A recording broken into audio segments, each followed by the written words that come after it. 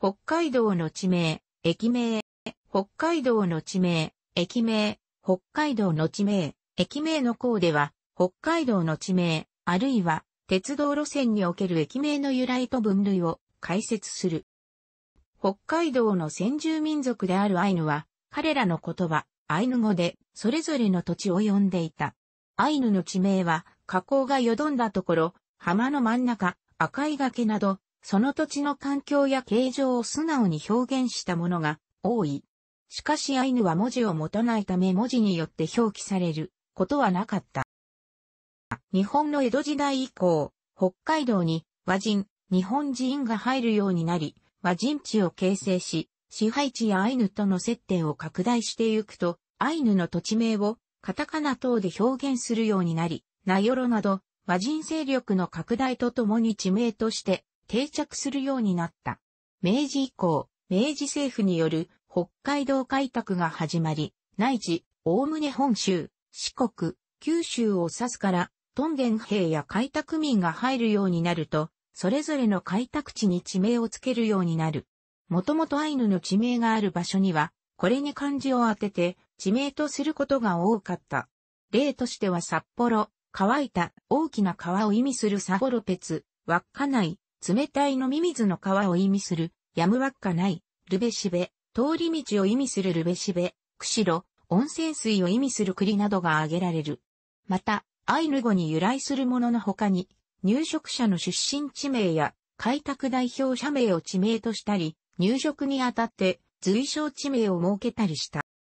北海道に鉄道が初めて敷設されたのは1880年、明治13年の関営幌内鉄道、手宮駅札幌駅、後、幌内駅まで全通である。以降、物資、旅客輸送のために、道内各地に鉄道路線が開設され、駅も増えていった。駅名は、駅の所在地の地名に由来するものが多かった。このため、駅名は、地名同様に、アイヌ語由来、入植団体名や随称地名を駅名としたものが見られる。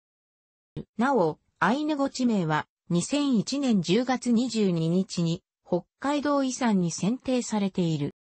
北海道の地名、駅名は、おおむね以下のように分類できる。アイヌ語地名に日本語風の地名、駅名につけるにあたっては、以下の方法が見られた。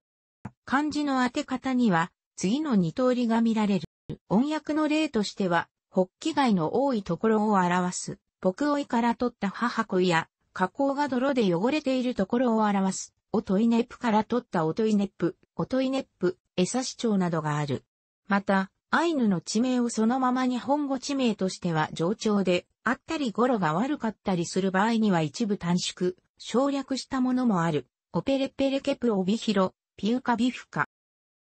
これらは、音のみに着目した当て字である。漢字は表意文字であるが、当てられた漢字の意味にアイヌ語原意との直接的な関連性があるとは限らない。例えば、道内に数多く見られる、内、別は、それぞれアイヌ語で川を意味する、内、別に当て字されたものであり、内側、分れるの意味は持たない。同じように、ホロは、大きい、広いを意味する、ポロの当て字で、ホロの字の持つ意味とは関係がない。アイヌ語地名の発音に当てられる漢字には以下の例がある。ただ、漢字を当てる際にはできるだけ見た目を良くするような配慮がされたと言われているものもある。例えば、道南地方今金町ピリカは、アイヌ語地名では、美しい川を意味するピリカペツで、語彙に即した当て字がなされている。また、千歳は、元アイヌ語で、大きな窪地を意味する、死骨であったが、死骨に通じ縁起が悪いとされたことから、周辺に単調鶴が飛来することにちなみ、鶴は千年から千歳に改名された。四骨の語は、千歳川の水源である、四骨湖として今も残っている。漢字を当てることによって、漢字の一般的な読みが浸透して、地名の読みが変化したものもある。札幌市にある月寒は、元は月サップと読んだが、今では、漢の一般的な読みにより、月寒となった。意訳の例としては、細長い沼を表す、丹根島から取られた長沼町、峠の下を表す、ルチシポクから取られた峠下駅、板取り、板取りの多いところを表す。ぐったら牛から取られた板取り浜駅、古城は、間などが挙げられる。これも、多くは見た目に対する配慮がなされたと言われるが、中には誤訳とされるもの、旭川市などもあったという。また、砂浜の多い川を表す、小田牛、内を訳した砂川市、音訳した歌市内市のように、前期の方法で解釈した地名、駅名が両方とも存在する例も見られた。これは漢字表記などを当てることが難しく、アイヌ語地名をカタカナで表記しているものである。例としては、十勝総合振興局管内浦幌町と伊時、宗谷総合振興局管内猿仏村地来別、シネ新湖、釧路総合振興局管内厚岸町ルークシポール、ルモイ振興局管内ルモイ市大あざルモイ村あざ、ポンルルモッペなどがあり、同様の例は道内各地に見られる。また、宗谷管内浜トン別町のポンヒトシたち内のように、アイヌ語で小さいを意味するポンのみをカタカナとしている場合もある。アイヌ語を由来とする地名が存在しない場合、ないしはそれによって付けられた地名があまりにも広範囲を表す場合などに、入植者による独自の地名、駅名が付けられる場合が見られた。1の例として、元鳥取藩主の地田中博から取られた池田駅、後に池田町と町名にもなる元仙台藩渡り伊達家当主の伊達国重による統治を由来とする伊達氏、坂本龍馬の甥の坂本直官が開設した北港社移民団から取られた北港社駅、北海道地北高原鉄道ふるさと銀河線、廃止などが挙げられる。また、元尾張藩主の徳川義勝が和歌にちなんで命名した八雲町のように、命名者の趣味や家紋などから付けられた例もある。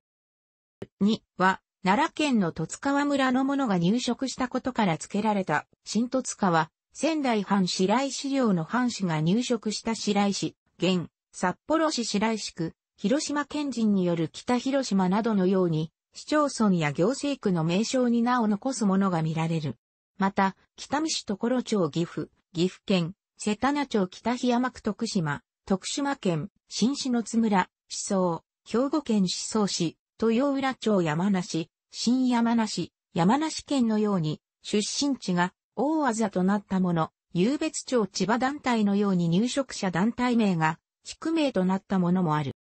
3は、日清駅、水穂駅など、開拓の苦しみを反映して、将来の発展を願って付けたものが多いとされる。旧広尾線幸福駅と駅のあった集落名幸福はこの3にあたる。これは元来乾いた川を意味する、薩内に、幸い心、幸、内の字を当てた、アイヌ語由来の地名であったが、ここに、福井県出身者が多かったことから、幸い心の幸と福井県の福を合わせて、幸福としたものである。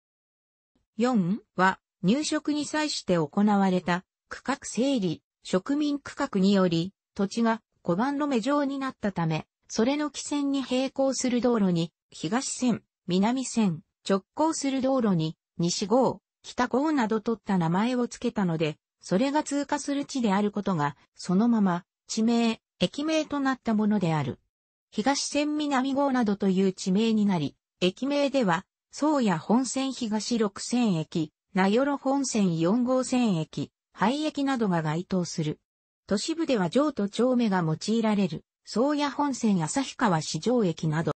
駅名に多く見られるものであるが、入植者もほとんど見られず、独立した地名が存在しなかったことから、駅周辺の自然環境等にちなんで付けられたものも少なくない。落合駅、銀山駅、総園駅、鹿の谷駅、紅葉山駅、現、新夕張駅、茅沼駅などが該当し、その後地名となったものも多い。方向、方角を表す、窃盗後、東西南北上中下をつけたものは内地にも一般的に見られるが、アイヌ語で河川等の大小を表す窃盗時を冠したものが北海道に見られる。ポンがその例で、上述したポンヒトシタチナイやポンルルモッペなどがある。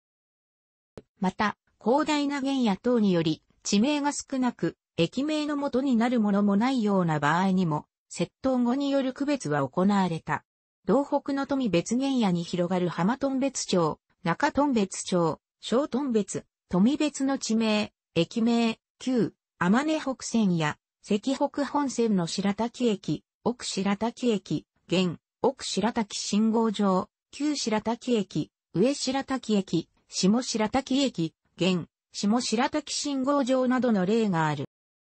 楽しくご覧になりましたら、購読と良いです。クリックしてください。